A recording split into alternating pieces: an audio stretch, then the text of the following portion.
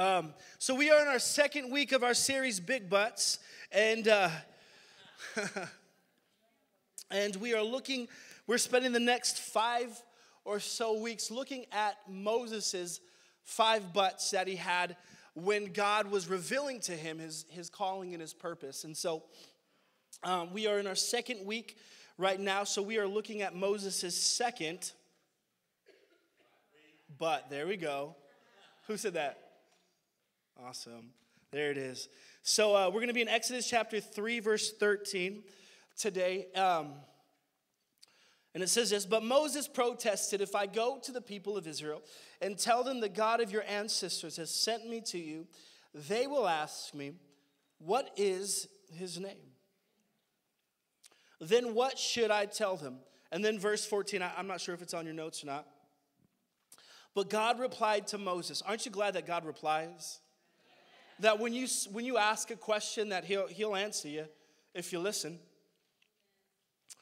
He, uh, God replied to Moses, I am who I am. Whew. Come on, that's some swagger right there. I am who I am. God, what's your name? I am who I am. My goodness. Say this to the people of Israel, I am has sent me to you. This morning, uh, I want to talk to you from the subject, simple subject I am. I am. I know I just prayed, but it's kind of a habit, so I'm going to pray one more time. Father, we love you. God, I thank you for what you're doing already this morning. God, I really believe that uh, worship softens our heart to, to, uh, to make good ground for what you're wanting to do. And so, God, right now I pray that uh, the seed that comes forth from your word, that it would produce good ground. God, that we don't want to leave the same way that we came in, not for our benefit, but so that we can leave here and change our world, change our community, change our workplace, change our family. God, we love you. We honor you this morning. Amen. Amen. Um, I don't like bills. I'm probably sure, like, I'm not the only person that feels this way. I especially don't like phone bills or cable bills because it seems like phone bills, indoor cable, hopefully no one works at a phone or cable company, but it always seems like they always try to throw extra things in the bill that you have no idea what it's from, and they don't tell you, they just kind of charge you. You with me? And, and so um, it was about a week and a half ago. Uh, we have T Mobile. I know, I know, don't judge. But I just learned T Mobile is like the number one cellular company in the United States. So laugh all you want, but we have T Mobile. And, um, and where, where am I going with this? We have T Mobile. Oh, so about a week and a half ago, uh, we got a bill they send our bill on like through a text and so my wife gets this text and it says we have a bill of over $500 Whoo! Yeah, and I'm like, oh my goodness, what is going on? And so I do what every husband would do in that moment babe, take care of it. And, and so, and so my wife, she, she calls him up and she's, um, she kind of gets that, that whole run around. Eventually, though, they say, uh, they tell my wife, um, don't worry about it, we'll take it off, it's all good, um, right? That's good news. Well, unfortunately, my wife forgot one important thing when it comes to talking with someone over the phone. You always got to get their their name. And and so um, this actually was a Monday. She got another text saying that our bill was past due again. And I was like, babe, clearly you are not taking care of this. Let me do it. And so I was like, babe, let me get the person's name that you talked to. And she's like, she's like, I, I, didn't, I didn't get a name. And I'm like, babe, really? Like you always got, and so like I'm calling and I have to start from scratch, this whole ordeal. I got to explain to them who I am, what's going on, that someone had talked to my wife. Well, what was that person's name? I don't know, but it was, we talked to, and it was just this real big ordeal. Eventually, this girl that I was talking to, she was very nice and very kind. And she said, Sir, don't worry. We'll take care of it. And I was like, Awesome. But there was a little bit of doubt in the back of my head just because someone else had said that. So, my first uh, response to when she said, We'll take care of it was, or my first question was, What is your name? she said, My name is so. So, I wrote down her name and I said, Well, thank you, so and so. And we hung up. So, long story short, we got it taken off of our bill that price. But but here's here is the the thing that I I made sure that I would do is that I would get the person's name just in case if poop hit the fan, right? As the saying goes, kind of. As poop hits the fan, I had a name to fall back on. To say, hey, listen, so and so said this. Talk it up with her. I feel like this is kind of the same thing that, that Moses is getting at in this, in this passage right here. You see, God had just revealed to Moses, he, God just told Moses, hey, Moses, this is what you're gonna do. I, I'm gonna call you, or I've called you to set my people free. That's a big calling. And so Moses, he does what most of us would do. And, and he, he kind of falls with what most of us we typically do. And this is our second uh, discouragement. He deals with doubt.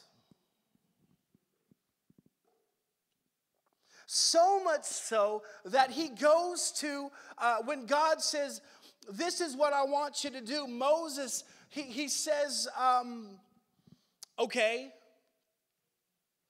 what's your name though? What's your name? See, I think this is very interesting because a few verses prior, when God first reveals himself to Moses with the fiery bush, uh, the first thing that Moses, or the first thing that God says is this I am God, the God of your father, the God of Abraham, the God of Jacob, the God of Israel. So God has already identified himself to Moses. Fast forward, Moses is once again saying, God, what, what, who do I tell him sent me? Isn't that interesting? It's almost as if Moses was like, God, like, I don't need to know. I know who you are clearly, but it's for those people over there. They need to know. Y'all ever done that before? it's not me, it's them, but you might as well tell me too, right? Like, I feel like this is what's going on with, with Moses. He, he, he, he heard what God's, who God, uh, God, God, God, let's cut that out from the, from the audio. God identified himself already. And yet Moses once again is saying, God, not for me, but for the people that I'm going to send, who should I tell him sent me? Now, part of this is it's, it's a legitimate question because during that time period, uh, the name was a very important thing. Not only that, during that time, within the ancient Egyptian culture, um, the, they, the culture was uh, very, they, let, let me see here. I don't want to get it wrong. And then you guys are like, no, Wikipedia and say it's wrong. Because in the Egyptian culture, polytheism and pantheism reigned supreme. So here's what that is polytheism is this belief in more than one God. Okay? So the Egyptian culture, they believed in that. So it made sense when, when Moses was like, God, who should I tell them sent me? They're gonna ask what God sent you. The Egyptians, they had over 2,000 gods. Isn't that crazy? And, and so, not only that, they, they even took it a step further um, with the pantheism. And this is the idea that um, everything is God. So that chair you're sitting on, that's a God. Like that, it sounds crazy, but that's that was the belief. And, and so it made sense when Moses said, God, but what is your name? Like part of it was for those people, but like they had to know what, what God sent me. Sent you, excuse me. And if that wasn't a, reason enough to give the name, again, names back in that time, they were very um, intentional, if you will. Like they meant something. See, I feel like right now, like the, the time that we live in, uh, names, it's, we, we're just like, I want the trendiest name for my kid. I'm gonna call him Blue. Hey. I'm gonna call him what, whatever, right? Like we, most of us, we just we just name our kids whatever we think is amazing. But back then, names were important. They were significant to, uh, to what God had for this person's life. A great example uh, we see is in uh, Genesis chapter 25. It's, it's a story of, of Jacob and Esau. And it says this And when the time came to give birth, Rebecca discovered that she did indeed have twins. Hello, somebody. The first one was very red at birth and covered with thick hair like, fur, like a fur coat. So they named him Esau. Then the other twin was born with the hand grasping Esau's heel, so they named him Jacob. So Esau, it resembled a word in the Hebrew that meant uh, hair, for hair. So they're like, man, he's hairy, let's name him Esau. I'm part Hispanic. We hairy. You know how there's a lot of Jesuses? A lot of Esau's. What's your name? Esau? Esau Rolando. Um, stay on point, John. Stay on point. Jacob, it resembled a, a name in Hebrew, uh, the word for, for heel.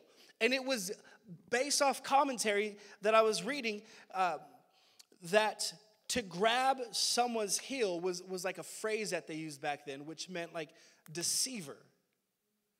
Later, if you, if you know the story of Jacob and Esau, Jacob was a deceiver.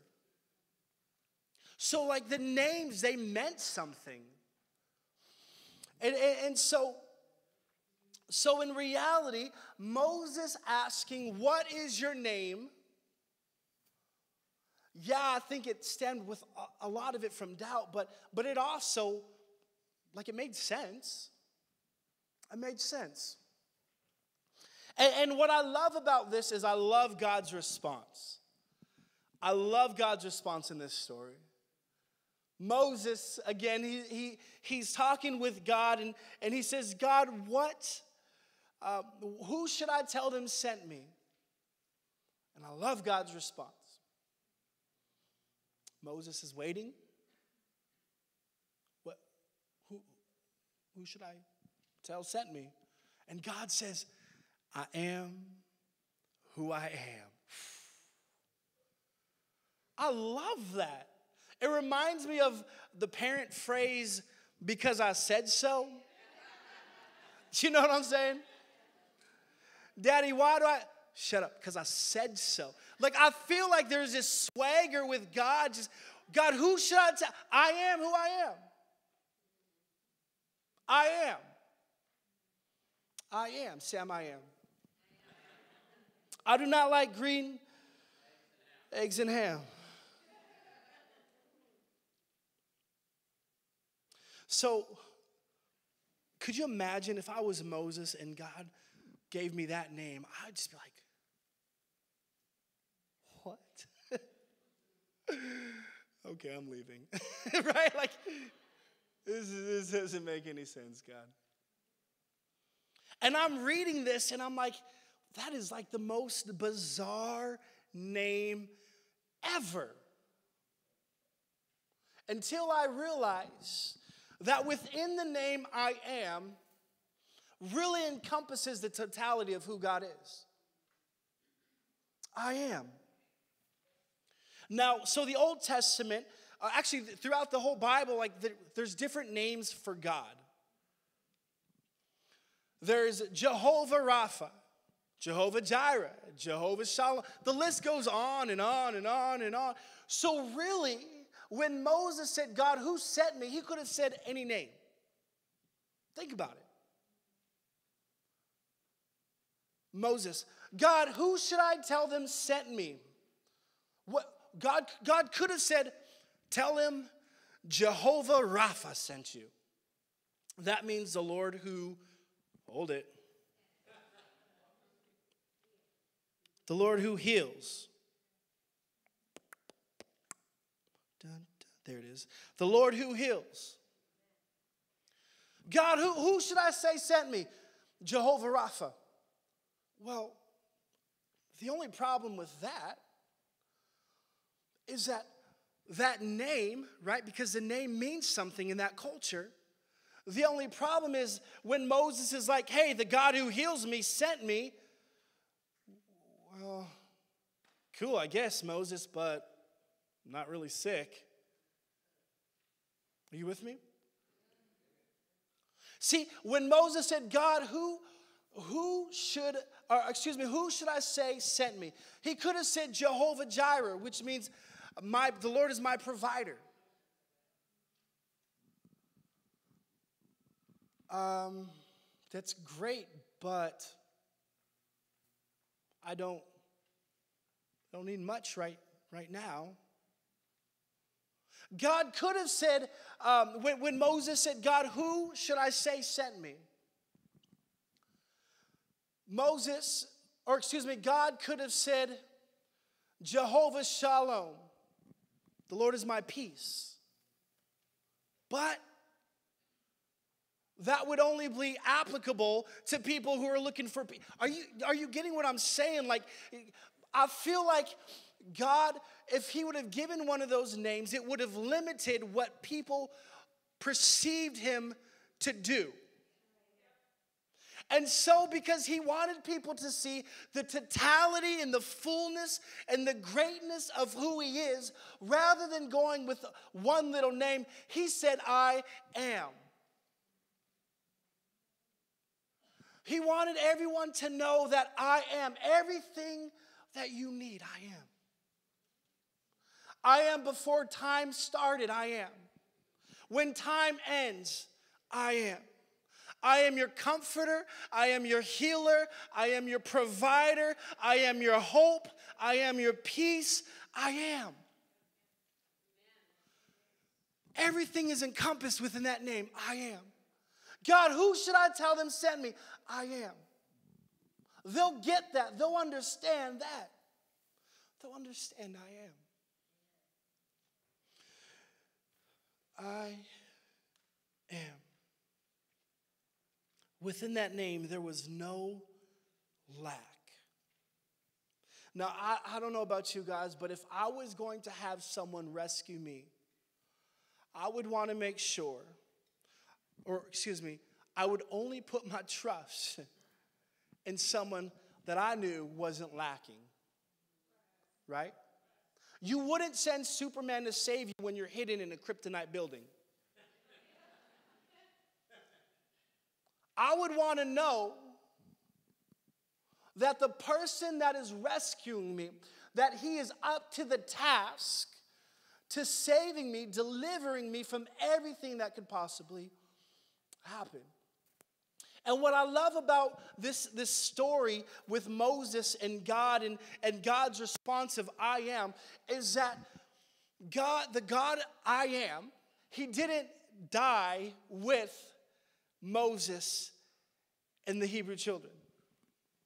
But because of Jesus, come on, y'all are quiet this morning. I'm about to quit. I'm about to drop the mic and just quit. But because of Jesus, the very I am is still with us today. Think about that. That's amazing. The very I am that brought people out of Egypt, that eventually brought them into the promised land, that I am is still present today. That's good news. Because that means no matter what you're dealing with, I am. So, whatever you're going through that's just kicking your butt and you're like, I just want to quit, I am. I am. And so, what I want us to do in, in the brief couple moments that we have left, I want to give you the seven I am statements of Jesus.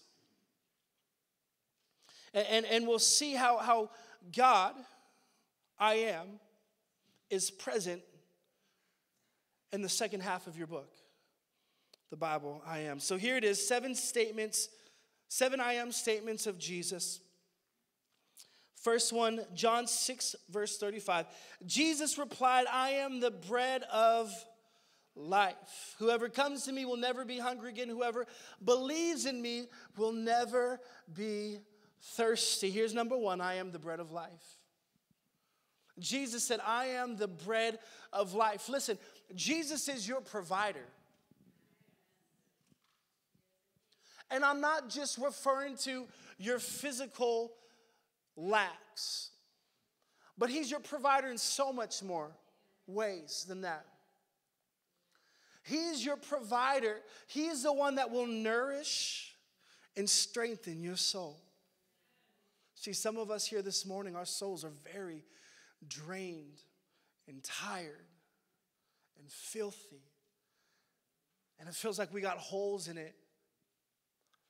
Jesus is your provider to bring nourishment to your soul. He is the bread of life.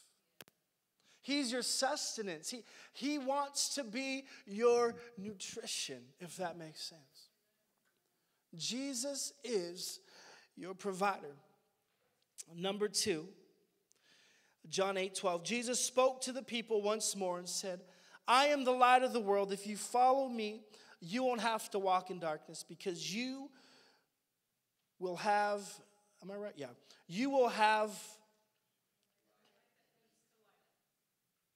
if you follow me, my words are like that big, forgive me.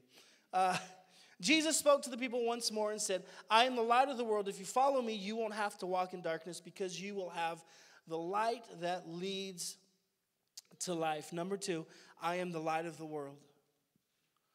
Jesus is your guide. Jesus is your guide. I've shared this before with you guys. Um, driving in foreign places with my wife it's like one of the most intense things that ever happens in our marriage. Like after we get home from vacation, we literally set up counseling because it's just it's like bad.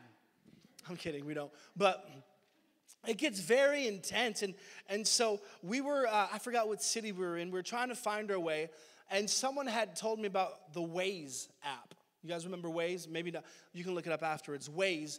And it's like, it's supposed to be the fastest way to get where you want to go. There's like live update, live feeds. It's, it's amazing. And so, so we, we downloaded this Waze app. We, we put in our, our destination, where we wanted to go, and we just kind of went. We pressed go, because you got to press go, and then we just, we just went. And we're driving on the freeway for a while and, and like, I don't remember who it was, but one of us, we leaned over like, I feel like we've been driving on this, this freeway for, for a long time. Um, and she's like, yeah. So we looked at the phone and we passed our exit like a lot of miles back that way. What happened is that we didn't know we had to turn on the, the, the audio, the navigator and so we're waiting for the navigation to be like, turn left now, exit, right? we were waiting and it never happened. And we are like, oh my gosh. So we finally clicked it on, we turned it on, and then uh, the, the phone was like, rerouting. And so we finally got our, eventually, we got to our destination. Thank you, Jesus. But here's what I, what, what I want you to get out of that illustration just because the phone was in our car doesn't mean it was leading us. We'll let that sink in just for a second. just because the phone was in our car does not mean it was leading us. It wasn't until we turned on the audio that we were able to hear where it was leading us. Jesus is your light, He's your guide, but it only works when you say, God, take me, take over. I surrender my all. You can have him in your pocket, but it does no good to leading you until you fully surrender. Are you with me? He is your light. And I love what Jesus says, where, where he says, I am the light. If you follow me, you won't walk in darkness because you have the light to lead you. Listen, he wants to lead you. He wants to be your guide. I feel like some of us, like we we have our phone and we're trying to get directions, but we're like, we're telling the phone where we want to go. Like we would never do that, right? But yet that's what we do sometimes with God. God's like, turn left. We're like, no, no, listen here. We're going right. Come on, He wants to lead you. He wants to be your, your light. He wants to be your guide. Number three, John 10 7. So we explained to them, I tell you the truth, I am the gate for the sheep. I love this. Uh, I am the door of the sheep. Number three, I'm the door of your sheep. Jesus is your access point. Jesus is your access point. Your ability, your and my ability to have this relationship, not religion, but relationship with God the Father, is through Jesus. He is your doorway, He is the door for the sheep, of the sheep. He's our access point to God. He's our access point to everything that God has for your and my life. I am the door of the sheep. Number four, John 10 11. I am the good shepherd. The good shepherd sacrifices his life for the sheep. Number four is this I am the good shepherd. I am the good shepherd. Listen, I want you to know this morning Jesus is your protector.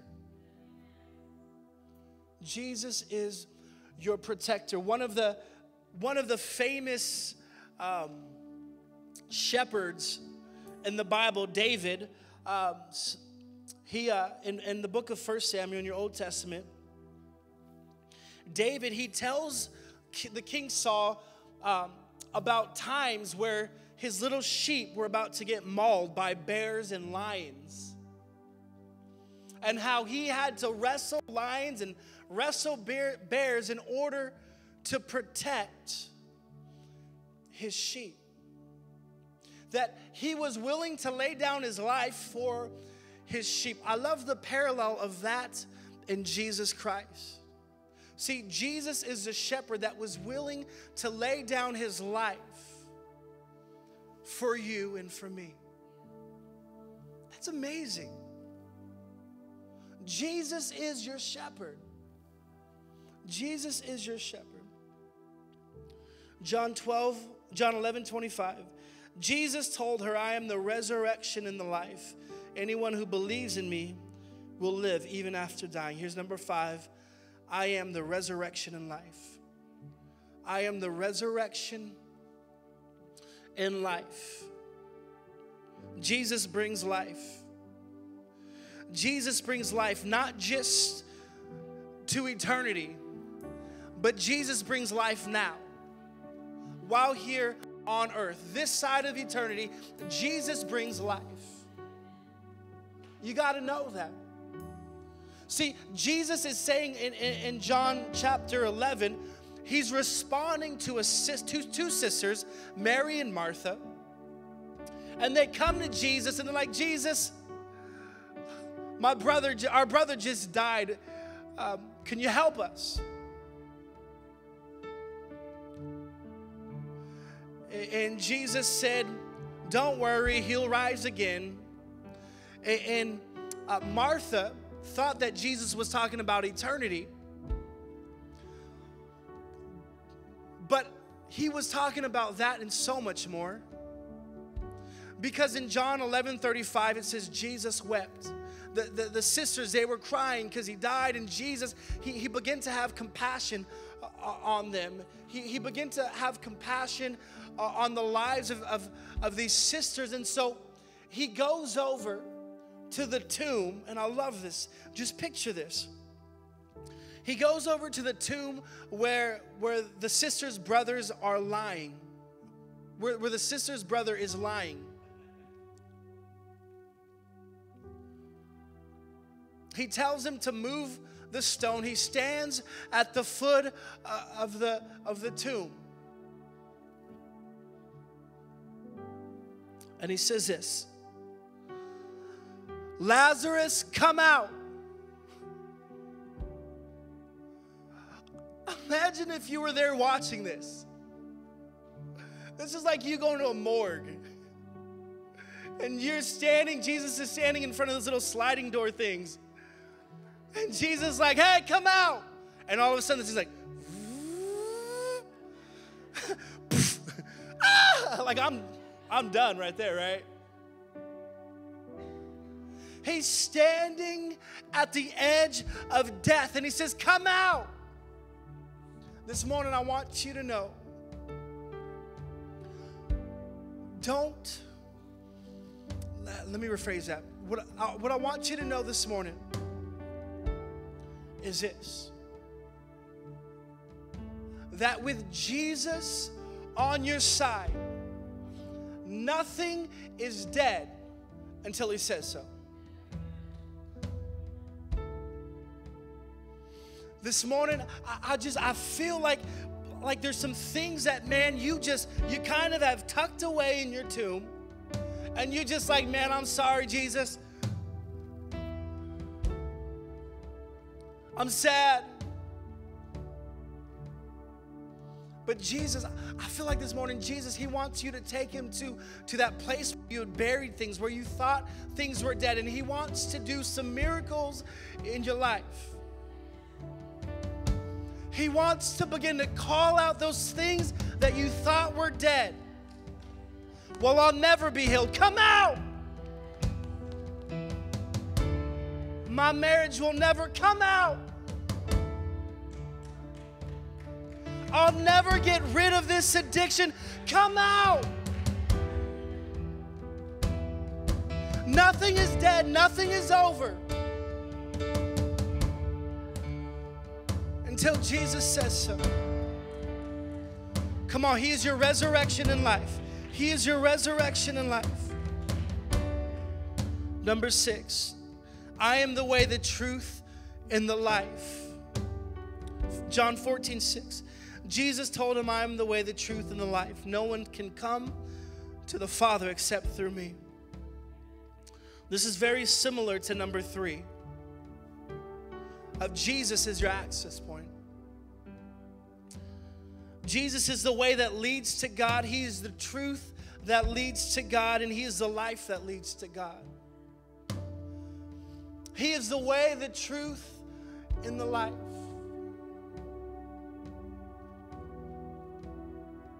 And number seven, and we're going to end here. John 15, 5.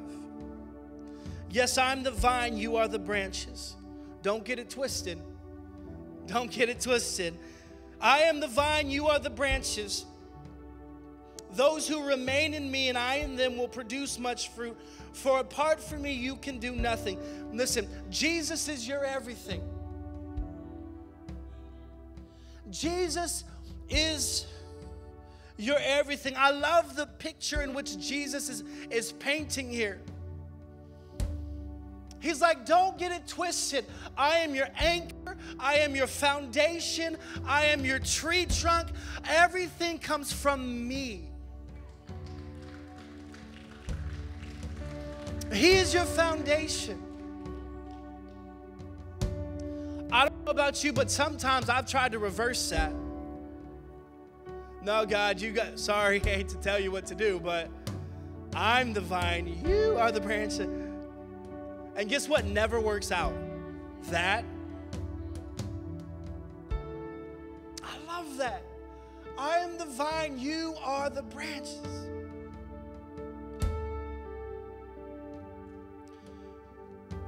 This is not the John Peter show. This is not the insert your name here show. Jesus is your everything. Jesus wants to be your everything.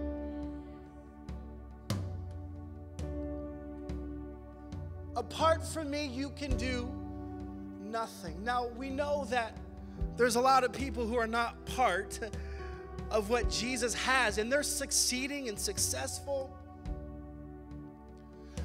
But Jesus, He's saying, apart from me, you can do nothing. Apart from me, whatever the, call, the, the, the spiritual calling that God has for your life, apart from me, you cannot accomplish that. Everything that the Holy Spirit enables us to do, apart from Jesus, we can't do anything. Jesus is your everything. Come on, somebody. Jesus is your everything.